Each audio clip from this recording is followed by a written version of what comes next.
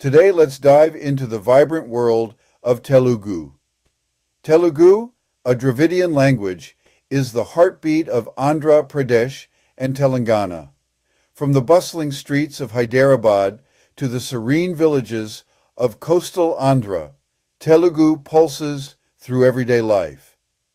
But the magic of Telugu extends beyond these states. In Karnataka, especially the border districts, you'll hear the melodious tones of Telugu.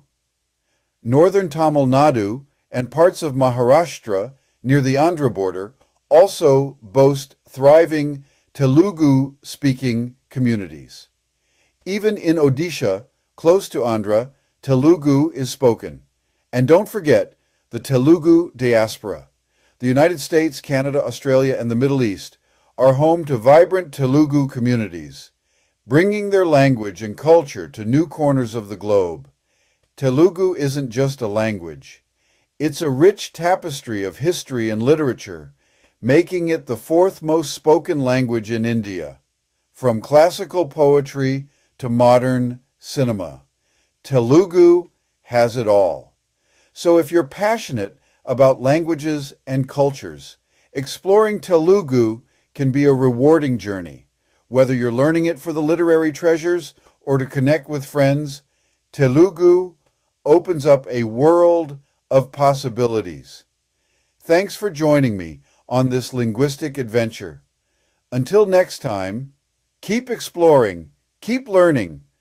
Don't forget to like, share, and subscribe for more language journeys. See you in the next one. Now let's take a brief look at the structure of Telugu. Namaste hello నమస్కారం నమస్కారం శుభోదయం శుభోదయం శుభ మధ్యాహ్నం శుభ మధ్యాహ్నం శుభ సాయంత్రం శుభ సాయంత్రం. ఎలా ఉన్నారు? ఎలా ఉన్నారు? బాగున్నారా? బాగున్నారా? ఎం సూచించి ఎం సూచించి? వచ్చారా? వచ్చారా? ఒక స్త్రీ. నేను ఒక స్త్రీని. ఒక స్త్రీ. నేను ఒక స్త్రీని. ఒక పురుషుడు. నువ్వు ఒక పురుషుడివి. ఒక అమ్మాయి. ఆమె ఒక అమ్మాయి. ఒక అబ్బాయి. అతను ఒక అబ్బాయి. నేను నేను. I, నువ్వు నువ్వు. You informal. ఆమె ఆమె. She, అతను అతను. He. Notice that. ఒక functions similar to an indefinite article in English, uh, and providing specificity while indicating singularity. నేను ఒక స్త్రీని నువ్వు ఒక పురుషుడివి ఆమె ఒక అమ్మాయి అతను ఒక అబ్బాయి In predicate nominative sentences in Telugu, the verb to be is generally omitted. For example, she is a teacher. ఆమె ఉపాధ్యాయురాలు There is no explicit verb for is in this sentence. The relationship between she and teacher is understood without using a verb. ఆమె ఉపాధ్యాయురాలు In predicate adjective sentences, Telugu uses ఉంది or its variations to express a state or a condition which acts like is. This form changes depending on gender and number. ఉంది For feminine or neuter subjects, ఉన్నాడు For masculine subjects, ఉన్నారు. For plural subjects. Let's take a look at some example sentences. ఆమె సంతోషంగా ఉంది ఆమె సంతోషంగా ఉంది అతడు సంతోషంగా ఉన్నాడు అతడు సంతోషంగా ఉన్నాడు అవి సంతోషంగా ఉన్నాయి అవి సంతోషంగా ఉన్నాయి. వారు సంతోషంగా ఉన్నారు వారు సంతోషంగా ఉన్నారు. ఇంగ్లీష్. నేను ఇంగ్లీష్ మాట్లాడతాను. చైనీస్. అతను చైనీస్ మాట్లాడతాడు జర్మన్ మీరు జర్మన్ మాట్లాడతారు జపనీస్ ఆమె జపనీస్ మాట్లాడుతుంది The verb conjugation in Telugu changes based on the subject's pronoun, which includes information about person, first, second, third, number, singular, plural, and gender, masculine, feminine. The suffixes used for conjugation indicate these distinctions. తాను తావు తారు తాడు తుంది తాము Now let's listen to some example sentences, twice with each pronoun, so we can see how the verb conjugates. నేను English మాట్లాడతాను నేను English మాట్లాడతాను నువ్వు ఫ్రెంచ్ మాట్లాడతావు నువ్వు ఫ్రెంచ్ మాట్లాడతావు. మీరు జర్మన్ మాట్లాడతారు. మీరు జర్మన్ మాట్లాడతారు. అతను చైనీస్ మాట్లాడతాడు. అతను చైనీస్ మాట్లాడతాడు. ఆమె జపనీస్ మాట్లాడుతుంది. ఆమె జపనీస్ మాట్లాడుతుంది. మనం ఇంగ్లీష్ మాట్లాడతాము. మనం ఇంగ్లీష్ మాట్లాడతాము. మేము హిందీ మాట్లాడతాము. మేము హిందీ మాట్లాడతాము. వారు స్పానిష్ మాట్లాడతారు. Telugu follows the subject object verb word order, which means the subject comes first, followed by the object, and then the verb typically appears at the end of the sentence. This is a common word order among Dravidian languages. This is the structure for expressing wanting to do something subject plus verb infinitive form and here are some examples, with each sentence repeated twice.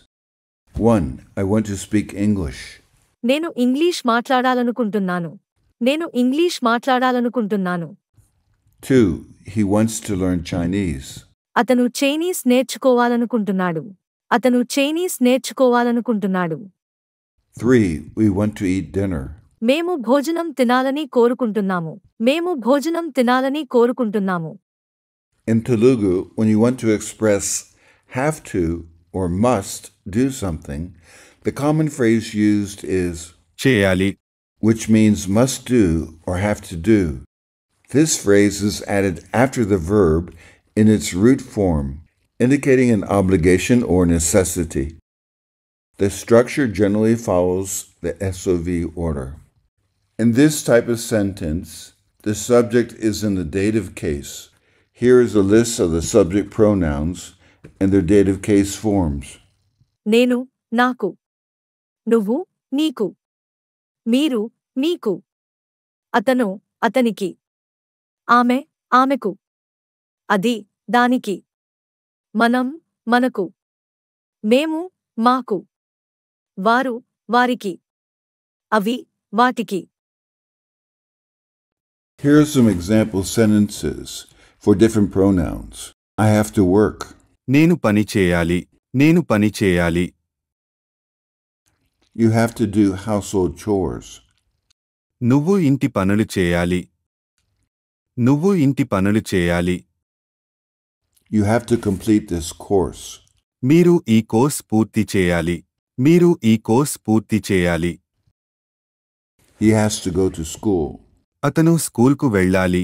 అతను స్కూల్కు వెళ్ళాలి. She has to do exercise. ఆమె వ్యాయామం చేయాలి. ఆమె వ్యాయామం చేయాలి. We have to work together. మనం కలిసి పని చేయాలి. మనం కలిసి పని చేయాలి. We have to complete our project. మేము మా ప్రాజెక్ట్ పూర్తి చేయాలి. మేము మా ప్రాజెక్ట్ పూర్తి చేయాలి.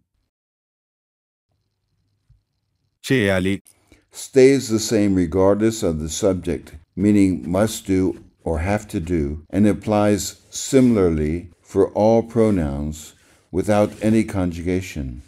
Other similar forms used for obligation, like, వెళ్ళాలి రావాలి are also not conjugated based on the subject. The structure remains the same the subject in the dative case, plus object, plus verb root, and చేయాలి వెళ్ళాలి or. రావాలి Are you interested in studying Telugu? Then give the Ling app a try. Just click on the link in the description for a free trial.